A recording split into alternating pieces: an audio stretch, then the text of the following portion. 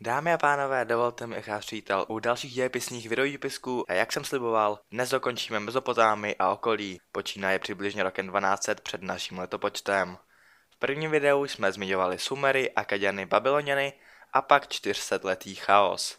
Skončili jsme u toho, jak postupně záhadně mizeli Chetité, Babyloniané, Egyptiané i Asyřané a jak na pobřeží středozemního moře přišli Pelištejci a Aramejci. Pokud jste to video ještě neviděli, zvažte to, aby vám neunikaly souvislosti, odkaz máte tady vpravo nahoře. Přibližně na území dnešní Sýrie tedy přišli nesemičtí pelištejci asi z Kréty a semičtí aramejci. Usadili se tu ze strategických důvodů, protože se tu křížilo několik důležitých obchodních cest a podle pelištejců se oblasti začalo říkat Palestina. A pak se sem vrátili židé, jejichž praotec Abraham žil v Mezopotámii už za dob Babyloniana Chamurabiho o kterém jsme mluvili v tom předchozím videu. Židé se ale už dávno přestěhovali z Mezopotámie do Egypta a právě teď, chvíli před rokem 1200 před naším letopočtem, je podle Bible Mojžíš odvedl zpátky. Nejprve je 40 let vodil po Sinajském poloostrově, aby zapomněli na egyptské otroctví a nakonec je dovedl do země zaslíbené, dnešního Izraele. Nahoře Sinaj navíc předal Bůh proroku Mojžíšovi desatero, kterým se měli židé řídit a tak vzniklo první monoteistické náboženství, tedy dnešní judaismus. Kolem roku 1200 před naším letopočtem tu máme 12 židovských kmenů a v čele každého z nich stál vůdce Šofetim. To se překládá jako soudce a tak tomuto nejstaršímu období židovského státu říkáme období soudců. Všechny informace z téhle doby nám poskytuje kniha soudců, hebrejsky psaná součást starého zákona. Docházelo ale k častým sporům a tak byla vláda nad izraelským národem určena Saulovi. To byl vojevůdce vládnoucí 40 let až asi do roku 1010 před naším letopočtem, kdy zemřel v souboji se zmiňovanými Pelištejci. Za Pelištejce bojoval v tomto střetu podle starého zákona i obr Goliáš, kterého nakonec parakem zabil pastýř David, jenž se stal po Saulovi dalším izraelským králem. Všechny kmeny sjednotil a přesunul hlavní město z Hebra do Jeruzaléma. Po něm vládl moudrý Šalamoun, kterého určitě také znáte z pověstí. Ten nakupoval cedrové dřevo od Féničanů, o kterých si pojíme za chvilku, a použil ho na trámy v novém monumentálním jeruzalémském chrámu. Byl to vůbec první židovský chrám, do té doby se totiž stavěly jen synagogy. Jeruzalém byl v Judsku, což byla jižní část židovského státu, čítající dva z těch dvanácti kmenů. Zbylých deset kmenů žilo v severní části Izraeli s hlavním městem Samařím. Sever byl mnohem úrodnější než jich a ty obchodnické stezky se také setkávaly tady, takže se mu dařilo mnohem víc než jihu. Izraeli se nelíbilo, že musí na Judsko zbytečně doplácet a tak se stát rozdělil. Izrael se zpočátku velmi rychle rozvíjel, ale už za okamžik zjistíme, že moc dlouho nevydržel. Ono vlastně moc dlouho nevydrželo ani Judsko, ale to bychom předbíhali. Slíbili jsme chronologičnost, takže teď necháme židy chvíli být a podíváme se kousek severněji k Féničanům, kteří se tu vyvíjeli souběžně s Židy. Fénicie nikdy nebyla jednotným státem. Šlo jen o pobřeží středozemního moře v dnešním Libanonu, kde tehdy žili míromilovní lidé, kteří místo výbojů mnohem raději obchodovali. Zakládali jednotlivá města, největším byl zpočátku Sidon, kolem toho roku 12 před naším letopočtem Byblos a později Tyros. Ve Fénicii tedy rostl kvalitní cedr, který kupoval i Šalamoun, a kromě toho tu uměli z plžů a mlžů vyrábět temné rudé barvivo nart, které nikdo nedokázal napodobit a proto mělo vysokou cenu. Kromě cedru a nardu obchodovali Feničana ještě s otroky a sládkami a lovili ryby. Aby měl jejich obchod větší rozsah, začali kolonizovat celé Středomoří.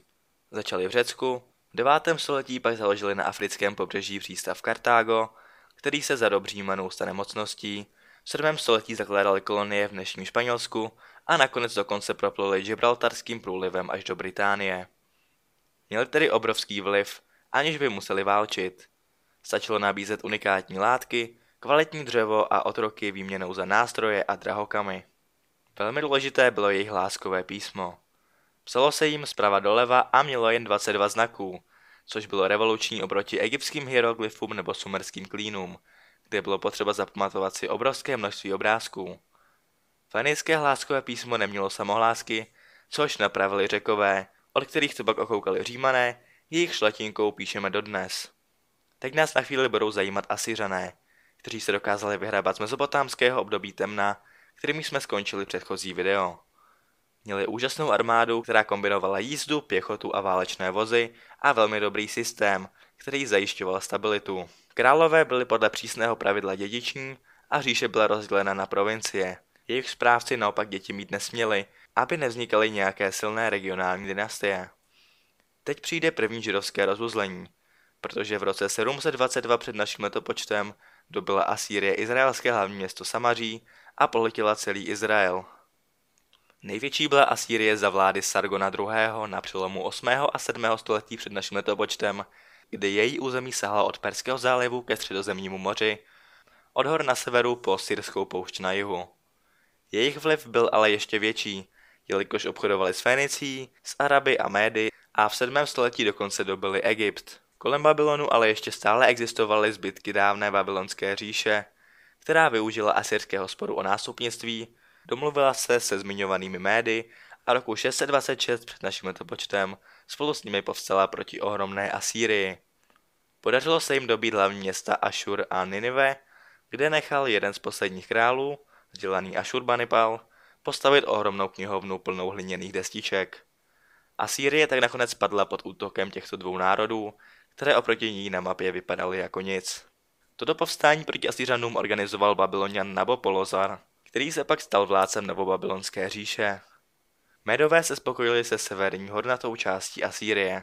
Po Nabopolozarovi nasoupil na trůn jeho syn Nabukadnezar II., který dobil dnešní Sýrii a roku 587 před naším letopočtem také židovský Jeruzalém. Zničil Šalemounův chrám, vypíchl judskému králi oči a asi čtvrtinu židů odvedl do babylonského zajetí. Město Babylon povstalo z popela, potom co ho zničil nástupce Sargona II. a mělo teď trojité hradby, na kterých byla namalována zvířata pro zastrašení nájezdníků. Uprostřed města stála asi 70-metrová babylonská věž a jeden ze sedmi divů světa, Semiramidiny vysuté zahrady. Pak ale nastala krize, protože se stezek podél Eufratu zmostnili Peršané. O těch už jsme také vydali video, odkaz máte vpravo nahoře. Poslední babylonský panovník Nabonid tušil, že musí národ sjednotit a tak reformoval náboženství. Dosavadního boha Marduka nahradil sínem, bohem měsíce. Pak se vydal k Rudému moři a kněží, které náboženská reforma urazila, otevřeli roku 539 brány Babylonu Peršanům, jež vedl Kýros Veliký. Novobabylonie tak naprosto bez boje zaniká a celé Mezopotámie se zmocňují Peršané. Mělo to ale jednu světlou stránku. Dva roky po zániku Babylonu se mohli zajatí židé vrátit do své zaslíbené země. Tak a tím jsme starověkou Mezopotámii vyčerpali. Všechno to tu obsadili Peršané, kteří vytvořili ohromnou říši a pak bojovali z řeky. To všechno ve videu, které máte tady vlevo dole a nad ním je ještě první díl této zamotané mezopotámské historie. Já doufám, že se vám video líbilo, pokud ano, zapomeňte dát palec nahoru, případně video sdělejte. Já s vámi loučím a uvidíme se zase nepříště u nějakého dalšího videa. Zatím čau čau.